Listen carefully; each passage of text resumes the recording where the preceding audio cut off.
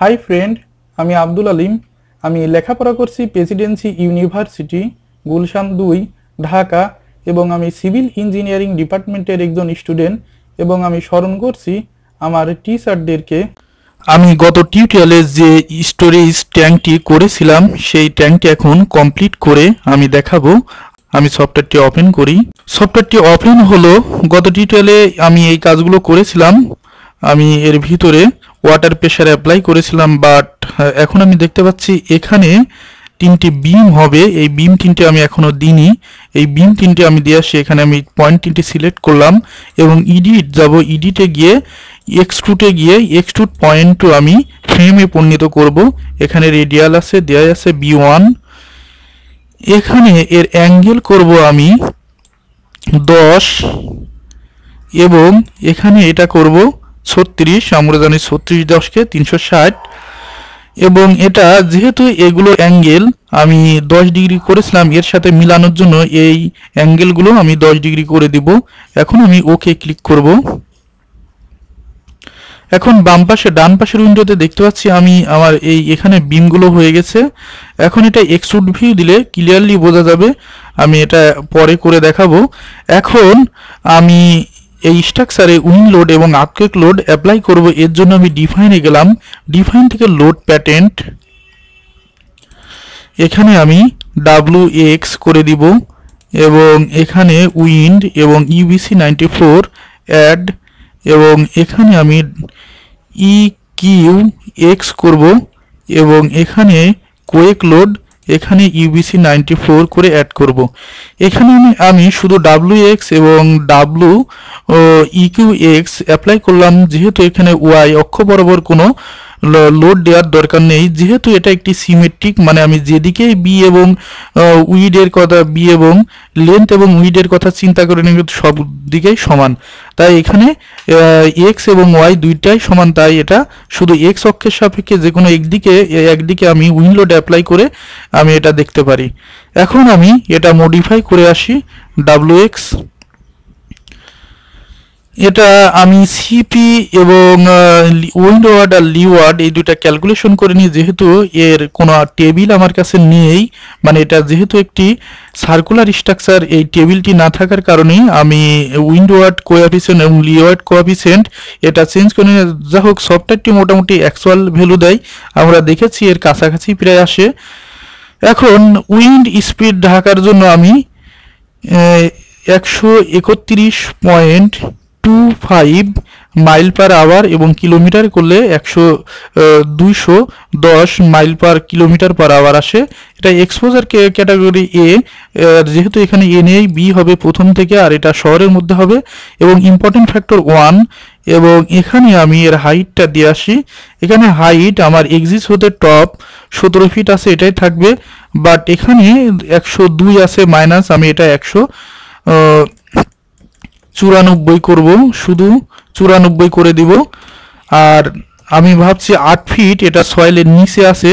আর শুধু মানে bottom storey height আমরা যে, যেভাবে ইটাবে করে করে থাকি। আর চুরানব্বই ফিট শুধু উপরে আছে। এটা উইন্ড আসবে আর কুইকের বেলায় আমি সবটুকু দেব। এখন আমি ওকে ক্লিক করব। এখন আমি পুনরায় ইকুয়েক্স মডিফাই করব। মডিফাই করি। এখানে আমি per code one point five এখানে one point five zero point five sorry ঢাকার জন্য zero point five seismic zone এটা এটা ওয়ানই থাকবে ইম্পর্টেন্ট ফ্যাক্টর আর এটা জিরো পয়েন্ট আমি থ্রি করে দেব, আর এটা আমি এইট করব, এবং এটা আমি সবটুকুই মানে যত ডিস্টেন্স বেস থেকে টপ পর্যন্ত এটা বেস থেকে টপ পর্যন্ত ডিস্টেন্স করে দিলাম, আর এখানে আর কোনো কিছুই চেঞ্জ করব না, যা সে তাই থাকবে ওকে এখানে উইন লোডের এটা আমি পুনরায় মডিফাই করে এটা দেখে আসি। এটা আসলে উইন লোডের ফ্যাক্টর হবে। Important factor one point two আমি ওকে করি এবং আর্থকেকটা মডিফাই করে দেখে আসি, এটা সব কিছুই ঠিক আছে। ওকে অ্যাগেইন ওকে ক্লিক করি। তবে আমার আর্থকেক উইন লোড দেওয়া শেষ হলো। এখন আমি ডিফাইনে যাব লোড কম্বিনেশনগুলো দিয়ে আসব অ্যাড এ নিউ কম্বো এখানে আমি যে কম্বিনেশন দেব, সেটা আমি দেখে আসি বিএনবিসি কম্বো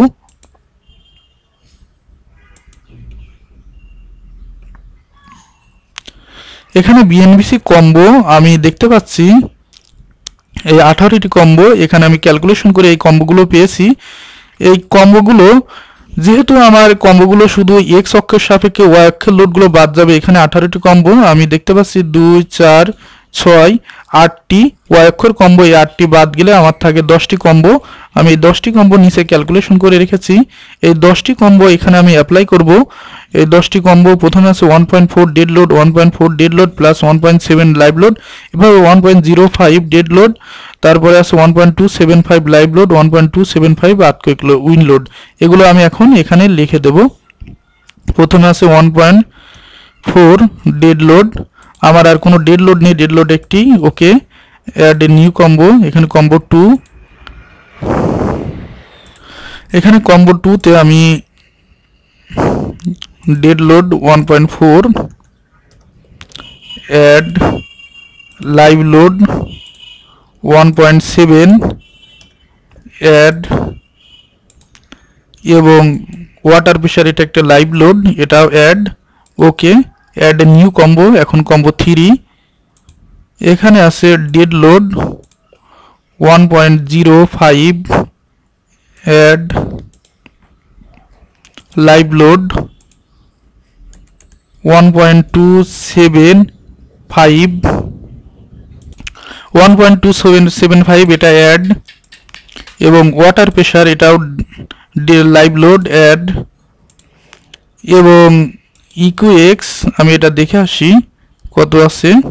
এটা one point two seven five এটাও অ্যাড এখন আমি এখানে ওকে ক্লিক করি। অ্যাগেইন আমি এটা কপি করব at add copy of combo এটা কম্বো ফোর হলো, এখানে জাস্ট আমি এটা মডিফাই করে এর আগে মাইনাস দেব। মাইনাস মডিফাই এটা অ্যাড হয়ে গেল।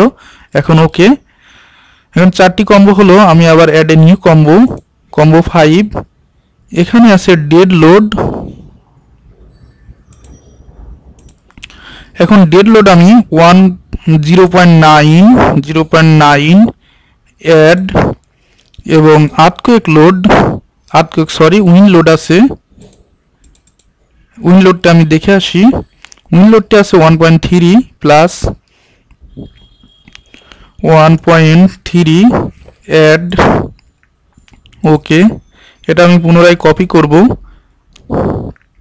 এবং এটার আগে আমি মাইনাস দিব মডিফাই এর আগে শুধু মাইনাস দিব এবং মডিফাই ওকে আমার ছয়টি কম্বো হয়ে গেল, এখন আমি সাত নম্বর কম্বোটি দেখে আসি। সাত নম্বর কম্বো আছে one point zero five one point two seven five but এটা আছে one point four add new combo live load আমি প্রথমে ডেড লোড দিব। Dead load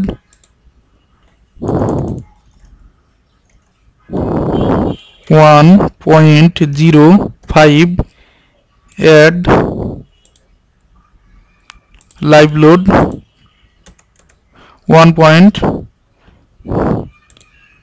dead লোডটা আমি অ্যাড করিনি add one point zero five add live load one point two seven five two seven five add water pressure একটি live load add এবং আমি EQ x লোডটি হবে ওয়ান পয়েন্ট ফোর অ্যাড এগুলো দেওয়া হলো, এখন আমি ওকে ক্লিক করে বের হয়ে আসবে এবং এটা কপি করব। এটা কম্বো এইট এটা আমি মডিফাই করব করে এর আগে শুধু আমি মাইনাস দিব এবং মডিফাই করে ওকে এখন আমি add new combo combo nine এখানে আমি dead load zero point nine করব। অ্যাড এবং ইকিউ এক্স এটা আমি করব one point three one point three add যেহেতু আমার ইকিউ এক্স আছে one point three sorry one point four three এটা আমি করে দিব ওয়ান পয়েন্ট ফোর থ্রি এটা modify one point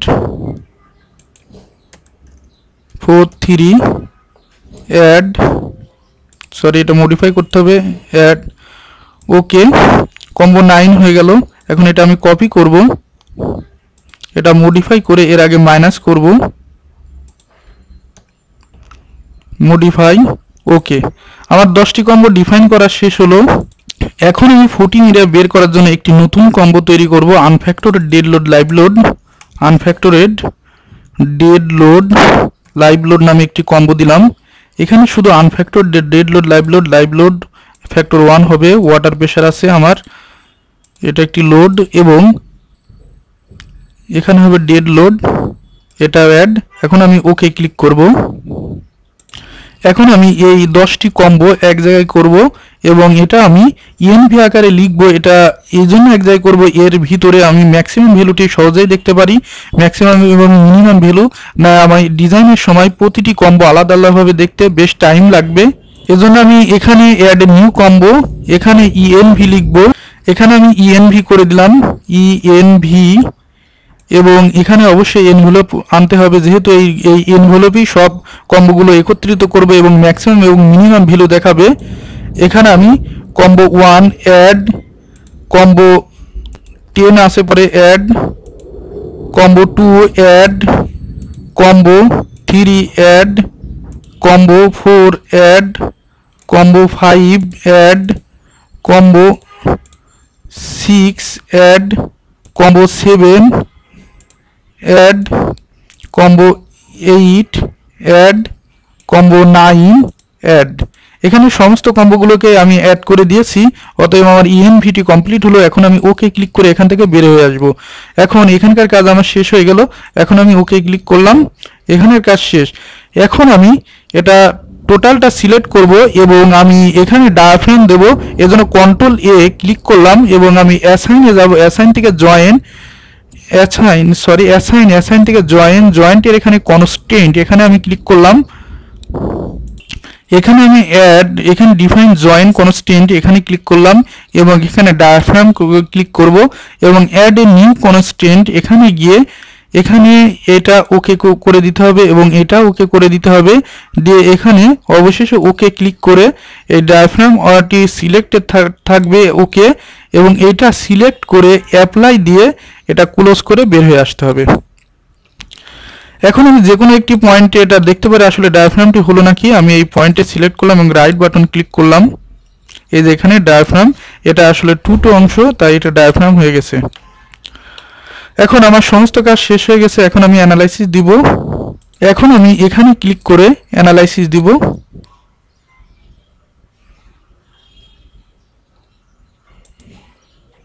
এখানে রান নাও অ্যানালাইসিস হতে কিছুটা টাইম লাগবে। অ্যানালাইসিসটি কমপ্লিট হয়েছে। এখন আমি শেলের মুভমেন্টটি দেখে আসি। শেল এখানে মুভমেন্ট এম ওয়ান ওয়ান এবং এখানে আমি কম্বো টুর সাপেক্ষে দেখব, কারণ আমরা জানি কম্বো টুর মধ্যে ডেড লোড লাইভ লোড এবং সব লোডগুলো আনফ্যাক্ট কেননা আমরা যখন কোনো স্ল্যাব ডিজাইন করে থাকি, তখন dead load live load factored অবস্থায় মানে এর মধ্যে ওয়াটারের লোড ডেড লোড লাইভ লোডগুলো ফ্যাক্টরেড অবস্থায় ক্যালকুলেশন করে, তারপরে হ্যান্ডে ক্যালকুলেশন করে থাকি। এজন্য আমি এটা দিয়ে এখন অ্যাপ্লাই ক্লিক করে আমি ওকে ক্লিক করে, আর মোমেন্ট এম ওয়ানের এম ওয়ান ওয়ানের সাপেক্ষে আমরা মূলত স্ল্যাব ক্যালকুলেশন করে থাকি। মোমেন্ট এম ওয়ান পজিটিভ আসছে eight point zero one eight feet kip kip per feet মানে এটা যদি আমি ইঞ্চিতে করি প্রায় একশো তিন চার মতো আসবে। এর সাপেক্ষে আমরা জানি আমরা জানি যে এম সমান phi S F Y D minus A by two এবং ক্রমান্বয়ে এ চেক দিয়ে আমরা এস সহজেই বের করে এবং এতে আমি স্টিল প্রোভাইড করতে পারি। এখন এই স্ট্রাকচারটি যে আর্থকুইক লোড উইন লোড এবং ওয়াটারের লোড অ্যাপ্লাই করেছে এবং এর ওন ওয়েটে আছে, এই টোটাল লোডের সাপেক্ষে এই পরিবেশে এই স্ট্রাকচারটি টিকে থাকবে নাকি? এর জন্য আমি এটা দেখতে পারি ডিজাইন যে কনক্রিট ফ্রেম ডিজাইন এবং স্ট্রাকচার সেই, এই অপশনটি ক্লিক করে এখন এটা চেক হবে। যদি কোনো রেট না আসে তবে তখন এটা টিকে থাকবে। এটা অ্যানালাইসিস হয়ে গেছে। বাট কোনো ফ্রেমে কোনো রেড কালার আসেনি। মানে এগুলো তো হলুদ কালার হলদে কালার কোনো রেড কালার আসেনি, অতএব এটা আমি ক্লিক করে দেখাই। সামারি রিপোর্ট এখানে কোনো রেড সিগনাল দিচ্ছে না, অতএব আমার স্ট্রাকচারটি সম্পূর্ণরূপে ওকে আমি মোমেন্ট ডায়াগ্রামগুলো দেখে আসি। ফ্রেমের মোমেন্ট ডায়াগ্রামগুলো আমি দেখব। এখানে ক্লিক করলাম ফ্রেম আমি দেখব যে আমি ইএনভি তৈরি করেছি তার সাপেক্ষে ইএনভি এর মধ্যে ম্যাক্সিমাম এবং মিনিমাম ভ্যালু শো করবে moment three three apply okay এখান থেকে মোমেন্ট ডায়াগ্রামগুলো দেখছি, কিন্তু এখান থেকে আমি শো ভ্যালু দেখতে চাই। পুনরায় এখানে গেলাম। এখান থেকে শো ভ্যালু অ্যাপ্লাই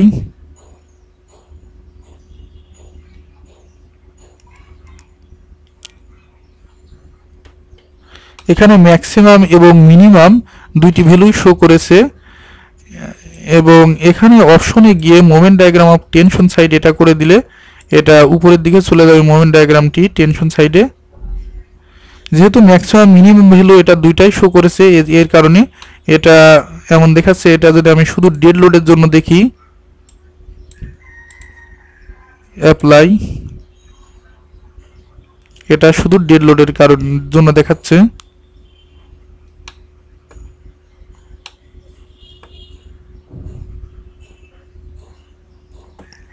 এই যে এখানে ডেড লোডের জন্য মোমেন্ট ডায়াগ্রামটি এমন হয়ে, ঠিক এমন হয়েছে। এখান থেকে আমি এখান থেকে ক্রমান্বয়ে প্রতিটি কম্বো আলাদা আলাদা হয়ে দেখতে অনেক টাইম লাগে, এজন্য আমি মূলত একবারে সব লোডগুলো এক জায়গায় করে দেখছি। এখনও আমি শুধু ওয়াটার প্রেশারের জন্য মোমেন্ট থ্রি থ্রি দেখতে চাই, এটা কেমন? এবং এটা ওয়াট শুধু ওয়াটার পেশেন্টের জন্য মোমেন্ট থ্রি থ্রি এবং এখানে আমি একটি unfactored dead load live load করেছিলাম। Unfactored dead load live load এটা, এর সাপেক্ষে আমি এক্সিয়াল ফোর্সটি দেখব। Axial force apply okay okay click করে আমি এখান থেকে বের হয়ে আসব। এবং এখানে আমি রিভার্ট বেন জুম দিয়ে এই ভ্যালুটি আমি দেখে নিতে পারি। এখানে আসছে একশো আটচল্লিশ পয়েন্ট ফোর এইট কিপ এর সাপেক্ষে আমি ফুটিং এরিয়া বের করতে পারি। মূলত এই টোটাল লোডগুলো এটা মূলত একটি র্যাপ ফাউন্ডেশন হবে। টোটাল লোডগুলো এখানে কম্বাইন করে র্যাপ ফাউন্ডেশনের থিকনেস কতটুকু হবে, এটা আমরা বের করতে পারি। খুব সহজেই। তবে সিএসআই সেভ দিয়ে আমরা সরি সিএসআই সেভ দিয়ে আমরা সহজেই একটি ওয়াটার ট্যাঙ্ক ডিজাইন এবং অ্যানালাইসিস করতে পারি। এটা কীভাবে করে আমি দেখালাম। মূলত আর ভুল ত্রুটি হলে আমাকে ক্ষমা করে দিন আমি এটা মূলত চেক দিয়েও দেখাইছি। আর এখানে গিয়ে আমরা রিপোর্ট তৈরি করতে পারি। এই যে ক্রিয়েট রিপোর্ট এখানে ক্লিক করে আমরা রিপোর্ট রিপোর্ট তৈরি করতে পারি। রিপোর্টটি আমি তৈরি করে দেখাই। রিপোর্টটি তৈরি শেষ হয়েছে, এখান থেকে আমরা এই ট্যাঙ্কটির বিস্তারিত সকল তথ্যই এখান থেকে খুব সহজে আমরা দেখতে পারি। এই যে এখান থেকে তার ফিগার একটি আসছে। এই ট্যাঙ্কটির যাবতীয় মডেলিং এবং লোড কোথায় কীভাবে ক্যালকুলেশন হয়েছে, এখান থেকে আমরা সকল তথ্যগুলো দেখতে পারি। এখানে থেকে যে এখানে তিরাশি পেজের একটি রিপোর্ট দেখতে পাচ্ছি। আমি এটা এখন মিনিমাইজ করব। ঠিক আছে বন্ধুরা, আজকে এ পর্যন্তই। আর ভুল ত্রুটি হলে আমাকে ক্ষমা করে দিবেন। আমি আসলে একটি ক্ষুদ্র ক্ষুদ্র জ্ঞানের